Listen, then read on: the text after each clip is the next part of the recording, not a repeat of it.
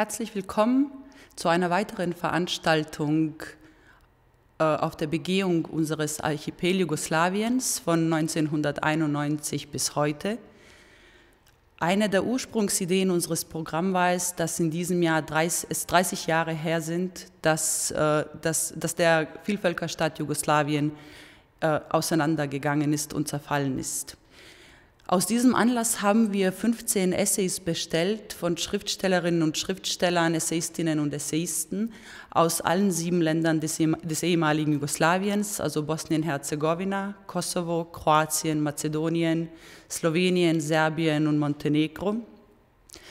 Und wir wollten von den verschiedenen, äh, von den verschiedenen Stimmen hören, wie blickt man heute auf diesen gemeinsamen Staat zurück von einst. Wir haben äh, verschiedene Generationen gefragt, wir haben verschiedene Geschlechter gefragt. Ich glaube, äh, unser ältester Autor ist 1900, also in den 40er Jahren des 20. Jahrhunderts geboren und unsere jüngste Autorin 1982. Sie ist auch heute mit in dieser Runde. Und was wir bekommen haben, ist eine unglaubliche Essaysammlung, die Sie auch als Ganzes online nachlesen können. Und ich bin sehr, sehr froh, dass wir diese Reise über diesen Archipel Jugoslawien gemacht haben. Denn was wir bekommen haben, sind sehr persönliche Geschichten. Das war auch explizit unser Anliegen, zu hören, was, hat, was haben die, die letzten 30 Jahre aus, und hier kann ich mich auch selber äh, einreihen, aus unserem Leben gemacht. Äh, unsere Gesprächspartner heute sind Vertreter von insgesamt drei verschiedenen Generationen. Der älteste von ihnen, Faruk Šehić, wurde 1970 geboren. Der sechs Jahre später geborene äh, ist Tomislav Markovic. Also Faruk Šehić ist aus Bosnien, Tomislav Markovic ist aus Serbien und die jüngste in der Reihe 1982 geboren ist Blerina Rogova Gadja. Sie stammt aus dem Kosovo oder aus Kosova. Ich weiß, es ist immer eine Gratwanderung und auch eine Zumutung von Schriftstellern und auch von Lyrikern. Und alle drei in unserer Runde heute sind auch Lyriker, zu verlangen, dass sie sich auch politisch äußern und geschweige denn, dass sie politische Analysen machen müssen oder gar Vorhersagen. Nichtsdestotrotz werde ich mich äh, versuchen, diesen, äh, diesen beiden Themen und der, und der Gratwanderung zwischen Homo Poeticus und Homo Politicus, denn alle unsere drei Autorinnen sind das, äh, so anzunähern. Und ich hoffe, dass Sie bereit sind, diese Spannweite zwischen Poesie und Politik mit mir heute zu gehen. Ich würde gerne mit dem Ältesten in der Reihe hier anfangen und das ist Faruk Šehić. Wie gesagt, 1970 in Bosnien geboren. In seinem Essay sagt er, dass seine Apokalypse am 21. April 1992 begonnen hat. Er ist ein Schriftsteller, der inzwischen als die Stimme einer oder seiner Generation gehört, die auch gerne als die verlorene Generation bezeichnet wird. Das kommt nicht von ungefähr, denn er ist mit seinen knapp 22 Jahren als freiwilliger Soldat in den Krieg gezogen, um das Land Bosnien-Herzegowina zu verteidigen. Dass der nicht nur Soldat ist, der auch bis zu 130 Mann anführen kann, wenn es sein muss, sondern auch ein, ein sehr starkes poetisches Innenleben hat und ein lyrisches Innenleben, äh, beweist die Tatsache, dass er schon äh, sehr viele Lyrikbände geschrieben hat, aber auch Prosabände, Kurzgeschichten und einen Roman. Und für sein Schaffen ist er, ich glaube, in, den, in allen Ländern des ehemaligen Jugoslawiens ausgezeichnet worden, aber auch international. Und seine Werke sind in über 15 Sprachen übersetzt. Auf Deutsch liegt uns vor das Buch Abzeichen aus Fleisch. Es ist eine Auswahl seiner Lyrik, die in, Edition Korrespondenzen erschienen ist. Lieber Faruk Šehić, ich freue mich sehr, dass du heute mit uns bist. Und äh, dein Essay, Die apokalyptische Uhr, hat als den Mittelpunkt deines Erzählens das Thema Zeit.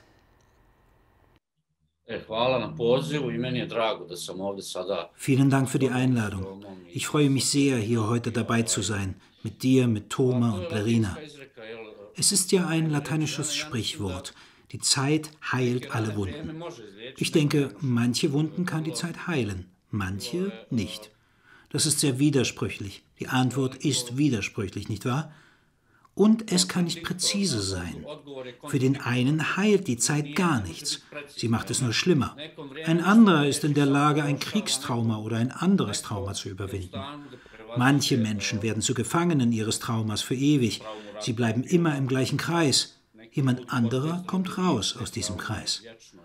Also das ist natürlich individuell, so wie jede andere Sache. Naravno, individualno, to svaka stvar. Ähm, ja, das, das verstehe ich. Äh, du führst, also du erzählst aber deine Geschichte, in der ich gelesen habe, dass die Zeit doch ein wichtiger Faktor ist. Denn du sagst, es gibt eine, eine Teilung in die Zeit vor dem Krieg und nach dem Krieg. Dann, hast, dann führst du in deinem Essay äh, sehr oft an, hätte uns es jemand gesagt, aber wir hätten es damals nicht verstanden. Jeste, vrijeme je meni tu naravno jedno tehničko sredstvo. Ja, die Zeit ist da für mich ein technisches Mittel. Der Wechsel von Zeit und Raum, beispielsweise in meinem Buch Geschichten mit einem Urmechanismus oder das, woran ich jetzt arbeite, oder in dem Essay, den ich für euch geschrieben habe, ist also ein technisches Verfahren, das es mir ermöglicht, ein zersplittertes Gedächtnis zu zeigen, die Zersplitterung der Erinnerung. So wie bei der banalen Metapher, einem zersplitterten Spiegel und so weiter.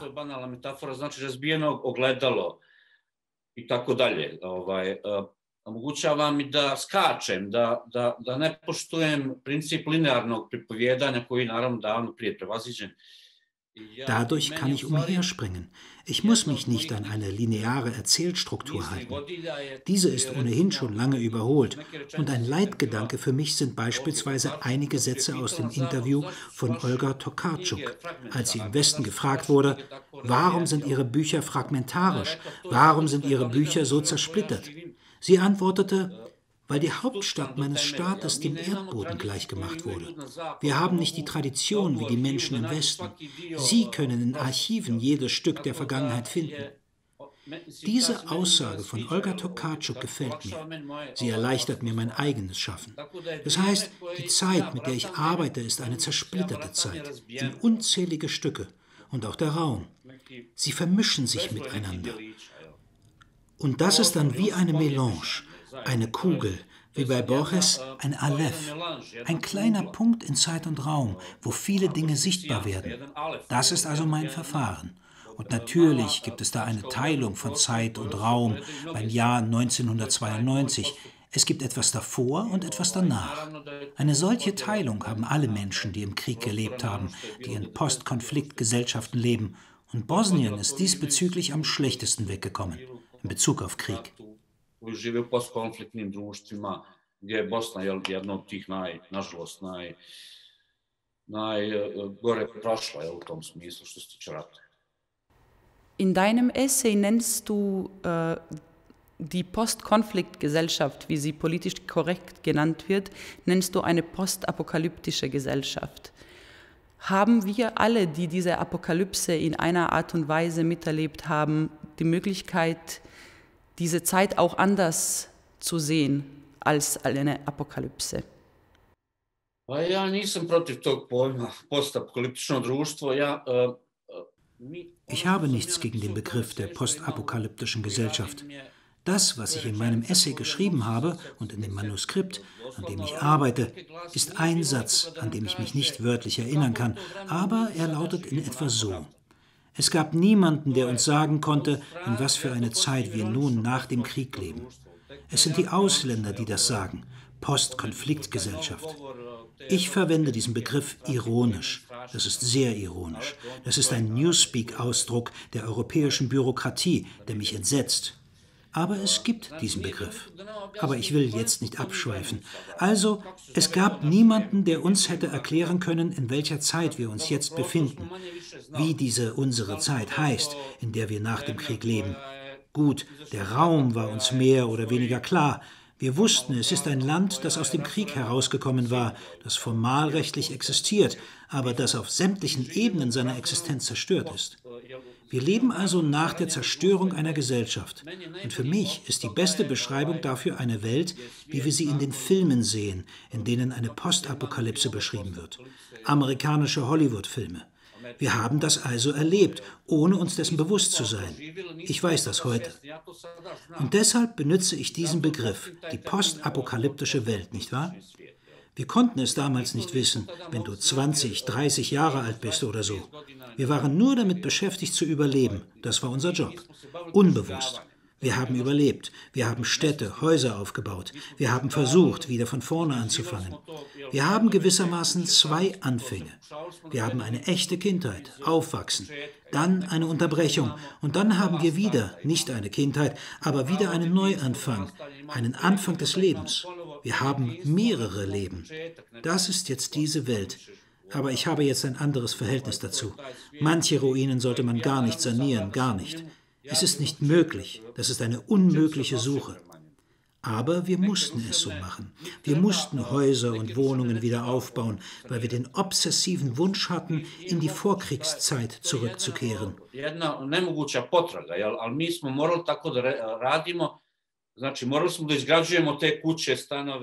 Es war unsere Suche nach der Idylle, nach der Vorkriegsidylle, wie eine ursprüngliche Rückkehr zu einem idyllischen Leben die nicht möglich ist, denn dieses Leben war bereits zerstört.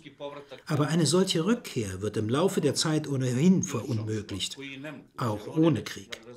Eine solche Rückkehr wäre unmöglich aufgrund von Melancholie, Vergehen der Zeit und so weiter. Das ist Nostalgie. Aber das, womit wir es hier zu tun haben, ist keine Nostalgie. Jetzt hast du mir gerade ein gutes Schlagwort gegeben, nämlich du hast selber das Wort Nostalgie gesagt. Empfindest du etwa Nostalgie gegenüber diesem gemeinsamen Vielvölkerstaat Jugoslawien?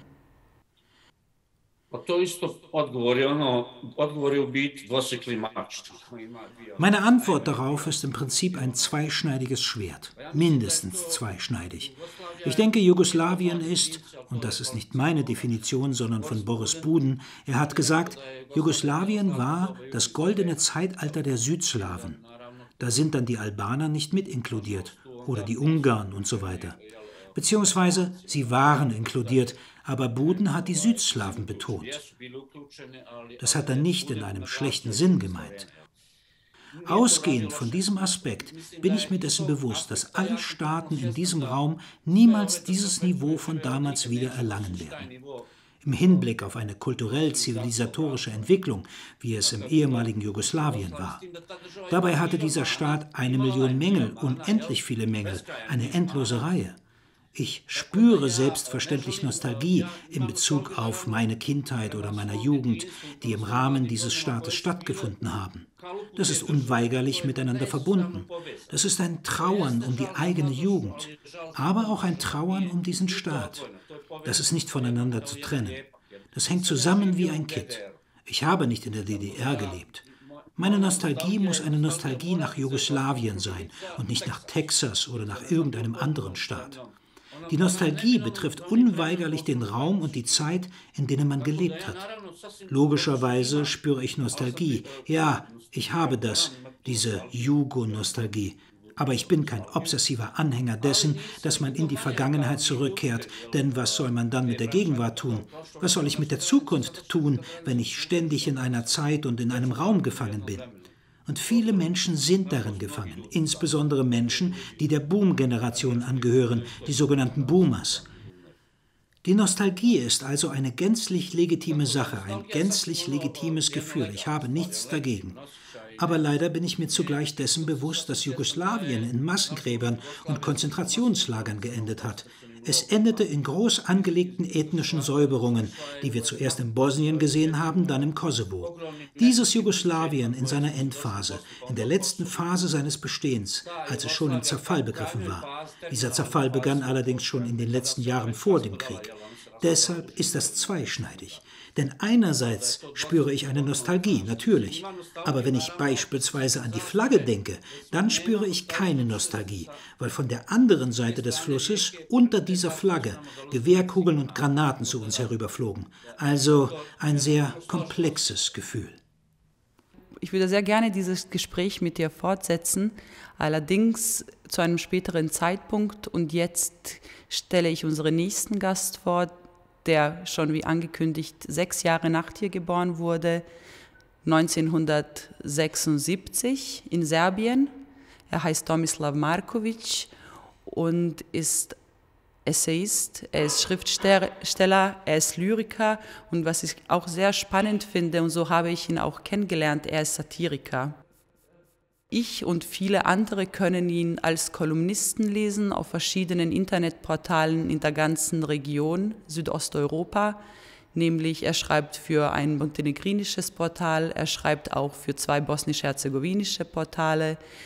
Er war auch der Chefredakteur, also der stellvertretende Chefredakteur von E Novine bis einschließlich 2016 er ist selber ausgezeichnet worden, denn er zählt in Serbien zu jeden Schriftstellern, die keine Lust haben auf die gängigen Wahrheiten, äh, mit den gängigen Wahrheiten auf die einzugehen und sie anzunehmen.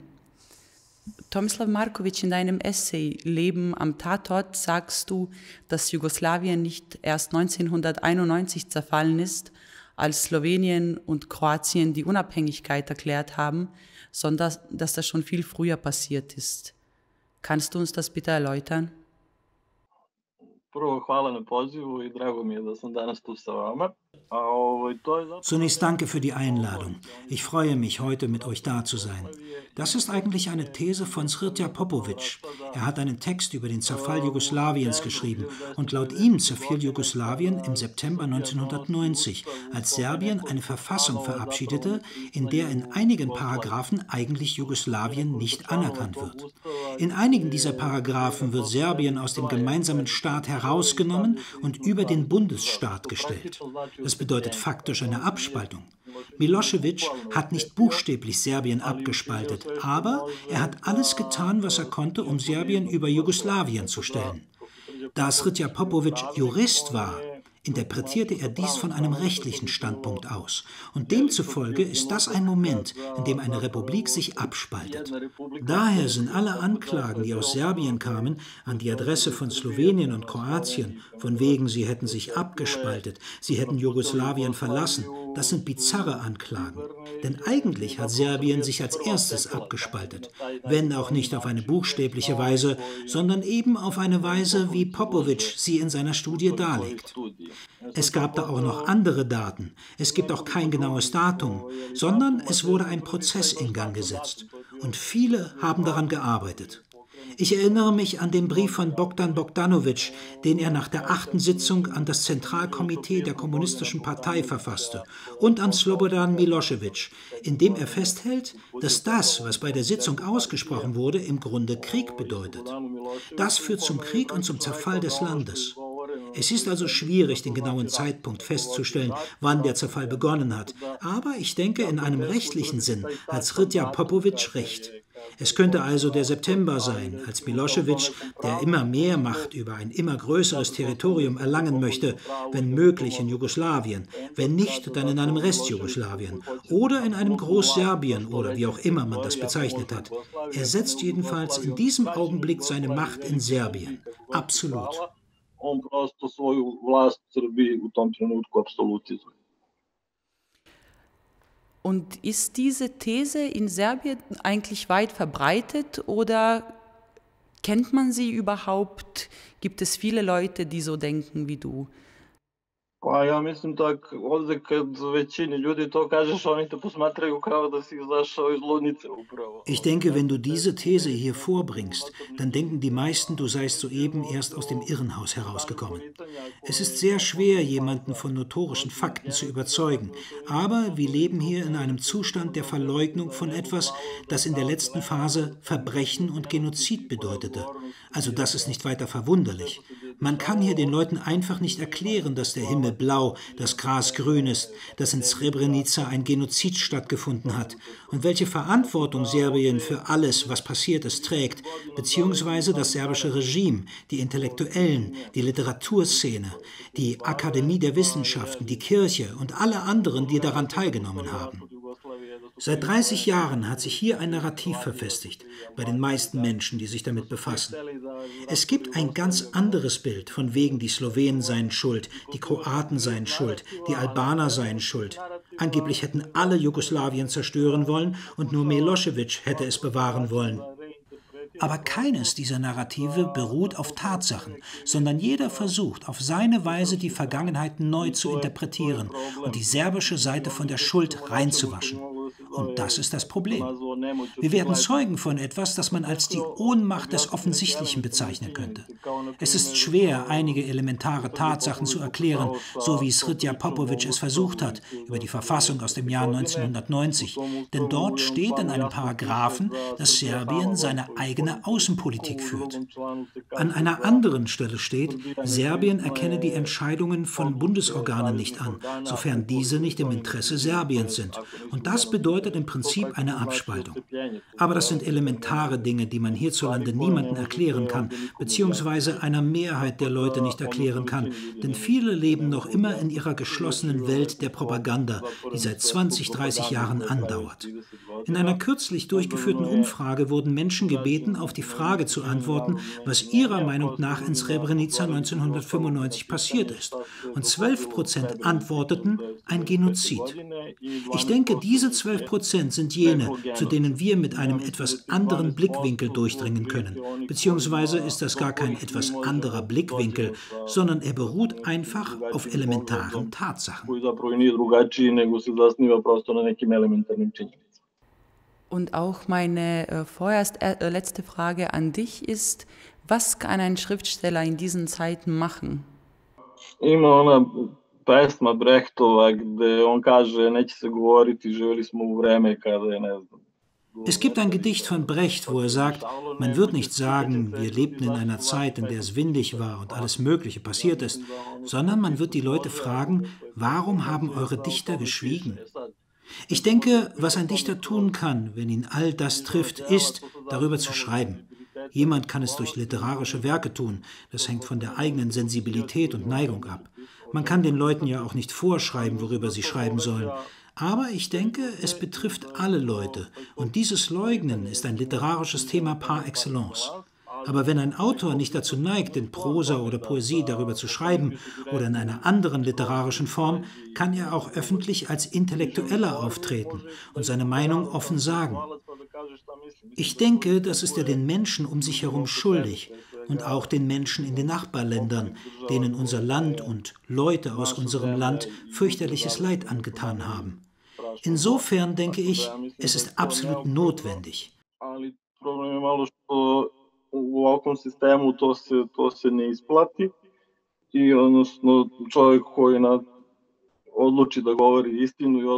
Aber das Problem ist, in diesem System zahlt sich das nicht aus. Und ein Mensch, der beschließt, die Wahrheit zu sagen und sich dem offiziellen Standpunkt des Verleugnens zu widersetzen, kann damit rechnen, dass er zahlreiche Probleme haben wird. Daher neigen nicht allzu viele Menschen dazu. Wenn sich das irgendwann entspannt, wenn sich in unserer Gesellschaft etwas weiter bewegt, dann werden immer mehr Menschen darüber sprechen. Die Literatur kann nicht allzu viel. Die Literatur und auch der Journalismus oder ein öffentliches Auftreten. Man darf von der Kunst nicht erwarten, die Arbeit der Politik zu machen. Nur durch Politik und durch eine ernstzunehmende politische Organisation können sich die Dinge wesentlich ändern. Das habe ich schon einmal gesagt. Hätten die Surrealisten Oscar Davico und George Jovanovic nur Poesie, Essays und Prosa geschrieben, dann hätten sie nie die Gesellschaft, in der sie lebten, verändert. Sie waren auch in der kommunistischen Partei. Später kämpften sie gegen die Faschisten im Zweiten Weltkrieg. George Jovanovic kam ums Leben auf dem Berg Avala. Er wurde, wenn mich nicht alles täuscht, von Chetniks umgebracht während Oscar Davico den Zweiten Weltkrieg überlebte und tatsächlich eine Zeit lang in der Gesellschaft, die sie geschaffen hatten, leben konnte.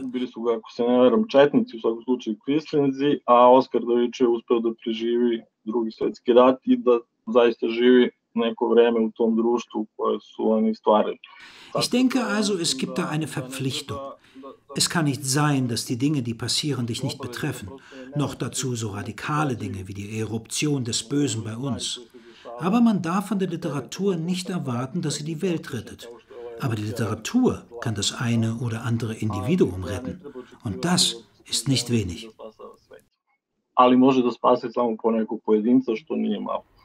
Ja, oder es kann auch den anderen und den Lesenden viel Trost geben. Der dritte Gast in unserer Runde schaltet sich aus Pristina dazu und sie heißt Blerina Rogova Gaja und ist 1982 geboren. Ich bin auch 1982 geboren und kann mich erinnern, dass ich die, in Bosnien-Herzegowina die letzte Generation von Titos Pionieren war. Sie ist selber Lyrikerin, sie, ist, ähm, sie unterrichtet an der Universität, ist auch Journalistin, schreibt für, den, äh, für das investigative Netzwerk Birn und auch für, für eine Zeitung und ist eine mehrfach ausgezeichnete Lyrikerin in ihrer albanischen Sprache, ist aber auch international anerkannt mit dem Vilenica-Preis, den sie dafür erhalten hat. Es in Pristina oder im Kosovo im Jahr 1989 auch gleich? Hast du auch den Schwur an Tito geleistet? Edhe mirë, faleminderit shumë për ftesën juaj dhe është kënaqësi dhe nder të jam Danke für die Einladung. Es ist mir eine Freude und eine Ehre, heute in dieser Runde zu sein. Bei dir, Hanna, mit Tomislav und Faruk. Ja, wir gehören der letzten Generation an. Wie ich es in einem früheren Essay schon beschrieben habe, habe ich den Schwur des Pioniers nicht geleistet. Ich habe niemals den roten Schal um den Hals getragen. Aber ich habe noch einen serbischen Lehrer erlebt, in der ersten Klasse. Da hatten wir sogenannte Ergänzungsstunden in Serbisch.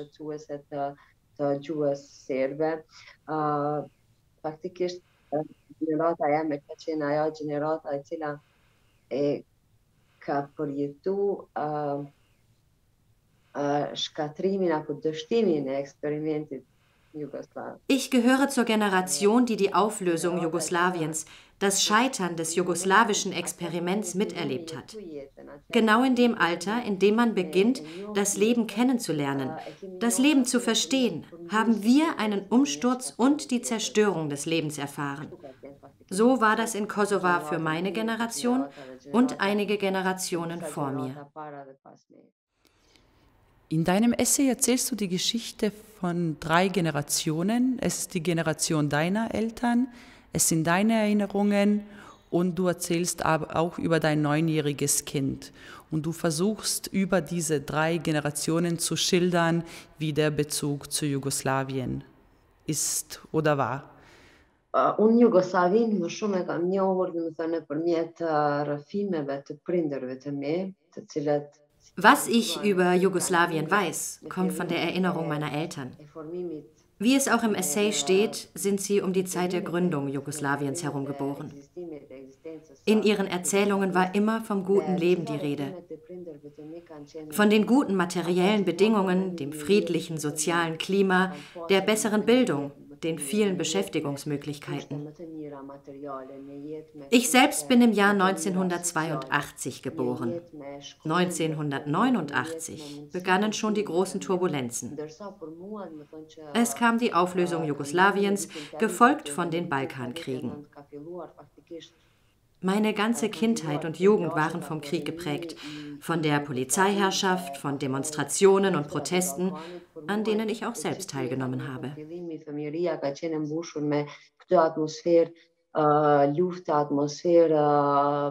policore, atmosferë të demonstratave, të protestave të shumta në cilat ne Meine Kindheit unterscheidet sich grundlegend von der Kindheit meiner Eltern und auch von der Kindheit meines Sohnes. Für ihn klingt es schier unglaublich, wenn er nach meiner Kindheit fragt und ich ihm von den Dingen erzähle, die wir damals in unserem Alltag erlebt haben.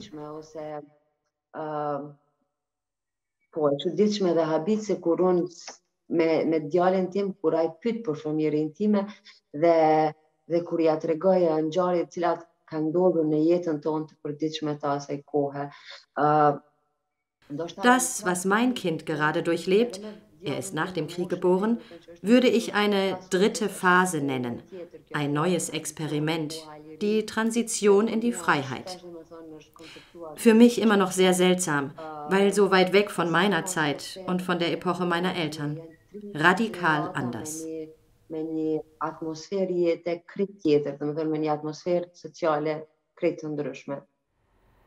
Und würdest du, Blerina, eigentlich über die Zeit Jugoslawiens noch nachdenken, wenn wir dich nicht eingeladen hätten, dir darüber Gedanken zu machen? Për familjen time, ajo që ka mu, uh, kjo krijes, dhe me thënë, shtetërore, kjo krijes uh, Von allem, was ich von meinen Eltern und anderen jugoslawischen Menschen über dieses staatliche Gebilde gehört habe, war das für sie ein gutes Leben, wenn auch nur bedingt für Kosovaren. Es ist komisch und seltsam, aber ich erinnere mich klar an die Erzählungen aus meiner Kindheit, in denen dieses gute Leben vorkam. Bis zur Zeit meiner Geburt soll das gewesen sein und ein wenig danach.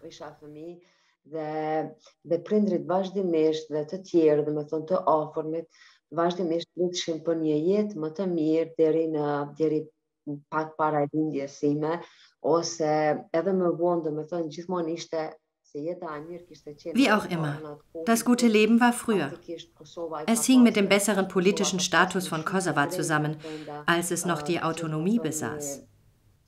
Es gab materiellen Wohlstand und Arbeitsmöglichkeiten. Für meine Eltern brach 1990 ein Leben zusammen.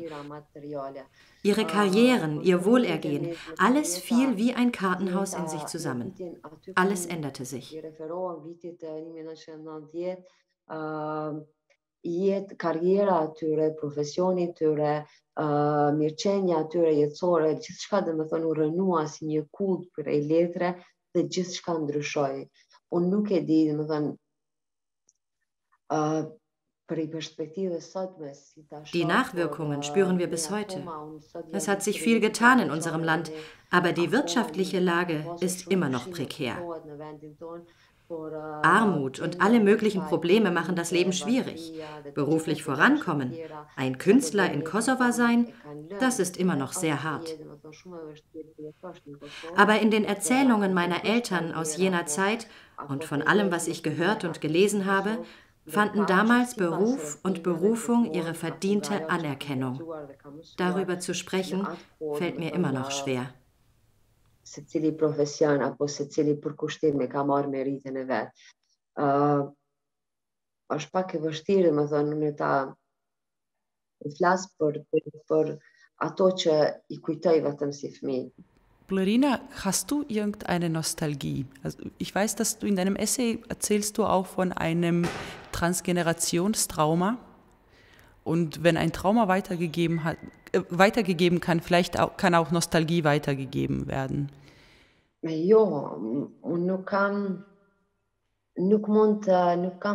Farë, më thënë nostalgjie Nein, das nicht. Vom früheren guten Leben meiner Eltern war in meiner Kindheit gar nichts mehr übrig.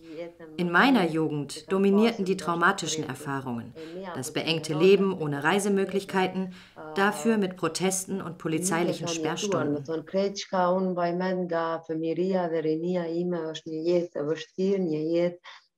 traumatike, një jetë bis zum 17. Lebensjahr, als der Krieg zu Ende ging, sind meine Erinnerungen, ob im Freundes- oder Familienkreis, nur mit Schwierigkeiten jeder Natur verbunden. Mit Angst und Furcht eines Lebens in einer bedrohlichen Welt.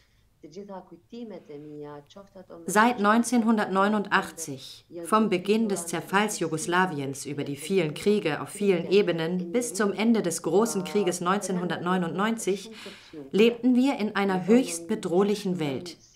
Alles wurde bedroht, jeder Aspekt des Lebens, jeden Tag.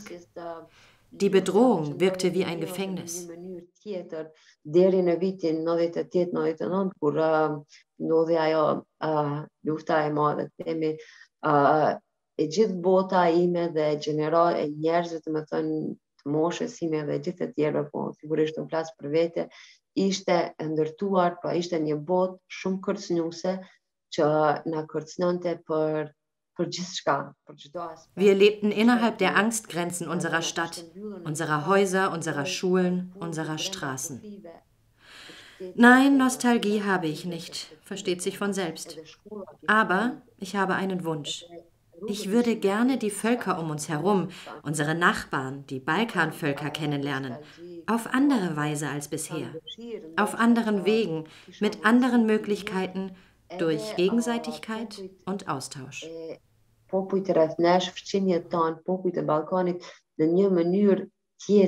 Jo nga ajo që, që kemi përjetuar deri tash, po në një mënyrë tjetër, me mundësi të tjera dhe me më shumë uh, komunikime të ndërsjella.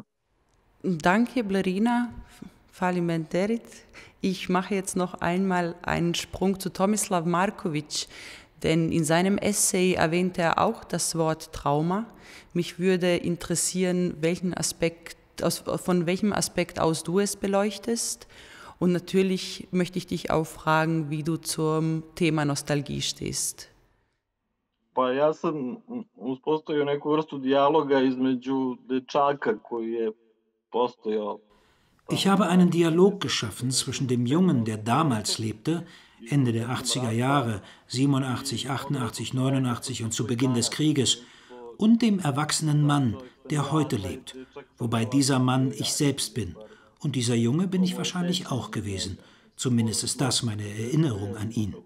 Beziehungsweise es ist schwer, jetzt die Verbindung herzustellen. Schimborske und Herbert haben Gedichte darüber geschrieben, wie sie ihre alten Fotografien betrachten, aus ihrer Kindheit und Jugend. Und Herbert schreibt, er habe nichts gemeinsam mit diesem Jungen, der pfeilgerade ist, außer seiner kapillaren Linien.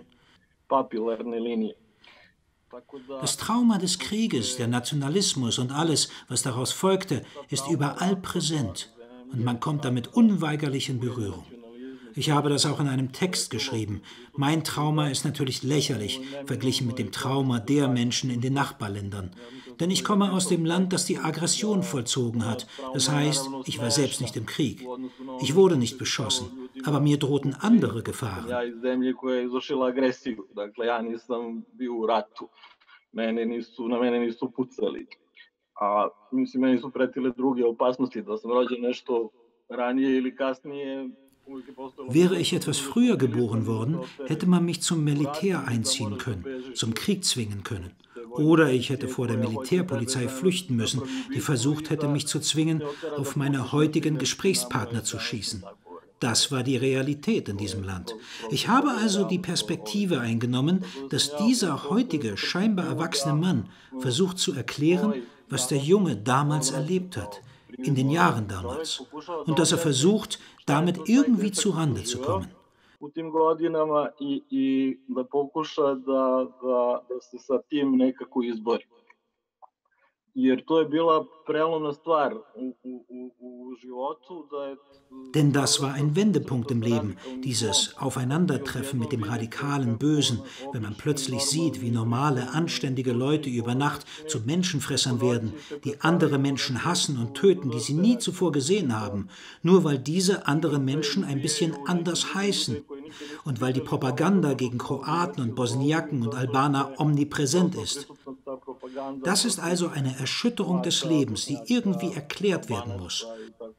Und ich habe gemerkt, je mehr ich mich damit befasse, je mehr ich darüber lese, desto weniger begreife ich. Und darin bin ich nicht der Einzige. se time bavim i što više o tome pišem i čitam, sve mi je manje jasno. I u tome nisam ni usamljen. Der bereits erwähnte Sritja Popovic hat etwas Ähnliches gesagt. Sonja Biserko hat beispielsweise in einem Text geschrieben, nach 400 Seiten einer eingehenden Analyse über Jugoslawien, eine fundierte wissenschaftliche Arbeit, für die sie tausende Aussagen diverser Intellektueller aus den Medien zusammengetragen hatte, Sie sagt aber am Ende, es gibt für das, was in Serbien passiert ist, keine rationale Erklärung. Und wie konnte es zu einer derartigen Eruption von Bösem und Nationalismus kommen und zu dieser expansionistischen Politik?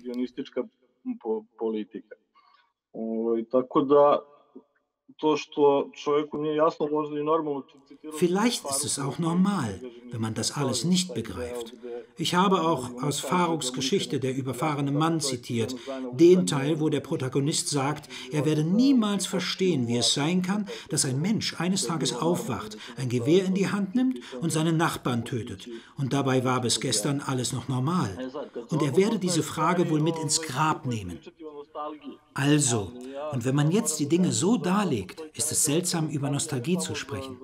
Aber ich muss sagen, es gibt eine Art Nostalgie, nicht nur in Bezug auf eine Kindheit in Jugoslawien, sondern auch im Hinblick auf den Frieden. Nostalgie nach einer Periode der Unschuld, in der du das Glück hast, nicht zu wissen, wer du bist und was du bist. Das bezieht sich auf viele Menschen hier und auf die Gesellschaft, in der ich lebe. Das ist diese Periode des Friedens und eine Periode, als es eine stabile Ordnung gab. Und selbst wenn du gegen jemanden warst, konntest du dich widersetzen. Aber es gab eine feste Basis der Werte. Man wusste, wer ein Volksheld ist und wer ein Verbrecher. Man wusste in etwa, was gut und was böse war. Und selbst wenn man damit nicht einverstanden war, so wie es aus richtigen Gründen Menschen mit kritischen Einstellungen getan haben, zum Beispiel Leute aus der Feral-Tribune, aber man konnte in einen Dialog treten, ganz im Unterschied zu diesem völlig verdrehten System, das, wie Faruk ganz richtig sagt, apokalyptisch geworden ist. Ich meine, hier ist alles verkehrt. Und alles, was anschließend kam, war viel schlimmer als diese Periode der 80er Jahre. Od, od tog perioda 80. godina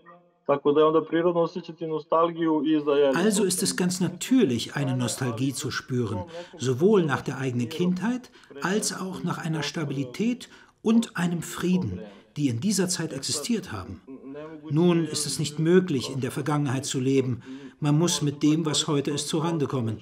Aber es lässt sich auch nicht leugnen, dass es in jeder Periode damals sehr viele gute Dinge gegeben hat und dass es nicht mit Zerfall und Gewalt hätte enden müssen.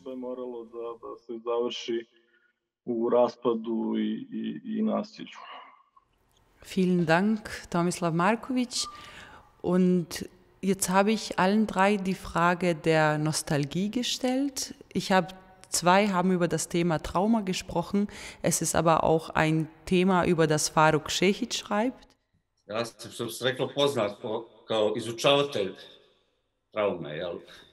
Ich bin bekannt dafür, das Thema Trauma zu erforschen. Und es klingt so wissenschaftlich. Traumaforscher. Thoma macht das auch, aus einem anderen Blickwinkel. Wir haben hier unterschiedliche Blickwinkel. Aber unser Objekt ist dieselbe Sache. Die Frage war, was ich nach dieser ganzen Arbeit für Schlussfolgerungen gezogen habe. Das gleiche, was Thomas schon gesagt hat in Bezug auf Sonja Biserko. Ich kann auch sagen, je mehr ich mich damit befasse, mit dem Trauma des Krieges, des Zerfalls Jugoslawiens, und je mehr ich in der Welt herumkomme, desto weniger verstehe ich, desto weniger weiß ich. Aber dennoch ist diese Suche und dieses Bedürfnis, mir und den anderen eine Erklärung geben zu können, nicht vergeblich nije ništa manje, nije uzaludna, jel, ovaj, e, mi, mi jednostavno to moramo raditi. Jel, ja sam Wir müssen das einfach tun. Denn ich habe heute Morgen über Jugo-Nostalgie geschrieben. Jetzt sprechen wir darüber. Nichts ist zufällig. Alles hängt miteinander zusammen. Ich weiß nicht, es ist schwer, das Böse zu begreifen, das sich auf deine Schultern stürzt. Und du kannst es nicht experimentell, mathematisch, wissenschaftlich erklären. Denn wir reden nicht von Chemie oder Physik oder von Bergbau, sondern wir sprechen von etwas, das eine Frage der Gefühle, der Emotionen ist. Eine Frage des Erinnerns, der menschlichen Eigenschaften. Wir, die wir hier sind, werden uns immer damit befassen auf unterschiedliche Weisen. Wenn ich mir anschaue, was ich vor 15 oder vor 20 Jahren gemacht habe, das ist diametral entgegengesetzt. Die Art, wie ich es mache, ist ganz anders. Aber manche Dinge sind ähnlich. Es gibt Berührungspunkte. u nekom smislu diametralno suprotno. Način na koji ti radim je sasvim drugčiji, ali neke stvari su slične, jel, imaju neke dodirne tačke. Jel. Ovaj, Tako da, Es ist wie ein großes Buch, ein unvollendetes Buch, das wir alle Schriftsteller gemeinsam schreiben, von Triglav bis Kefkelia, wie man so schön sagt, ganz gleich worüber wir schreiben. Sogar diejenigen, die über Blumen und Vögelchen schreiben, über rauschende Bäche, auch sie sagen etwas aus. Aber leider interessiert mich diese Art von Literatur nicht. Aber das ist nicht die Ohnmacht des Offensichtlichen, wie du gesagt hast. Aber vielleicht ist es die Ohnmacht ihres Offensichtlichen, dass sie sich nicht trauen, in die Brennnesseln zu gehen und auch über diese Dinge zu schreiben. Aber auch das sagt etwas aus über eine Weltanschauung, über dieses schreckliche Gebot des Schweigens, das es gibt und das es überall gibt, in unterschiedlichen Dingen.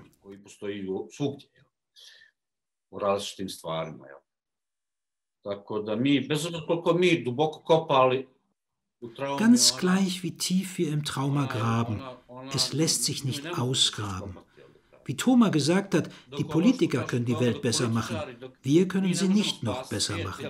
Wir haben sie schon besser gemacht, indem wir alles gegeben haben. Wir können nicht noch mehr geben. Wir sind limitiert. Wir können nicht die Gesellschaft heilen. Wir sind keine Psychiater, kosmische, gigantische, wenn die Politik anders wäre. Aber wir wissen, die Politik wird sich nicht ändern. Kosmički, gigantski, ali recimo da bi te politike vladajuće kad bi nam bila drugčije, kao što znamo svi da neće biti drugčije, ja nisam Ich bin ein realistischer Pessimist. Ich liebe die Zukunft. Ich hoffe auf eine leuchtende Zukunft.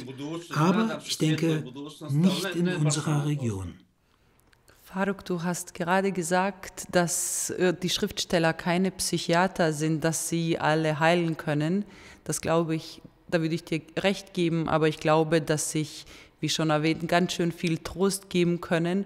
Und ich werde diese Gelegenheit nutzen, mich dafür bei euch zu bedanken und unser Publikum einzuladen, auf unserer Webseite die Texte, die wir heute, über die wir heute gesprochen haben, nachzulesen Vielen Dank, dass ihr heute mit uns dabei seid, dass ihr mit uns dabei wart. Viele Grüße nach Sarajevo, nach Beograd, nach Belgrad und nach Pristina.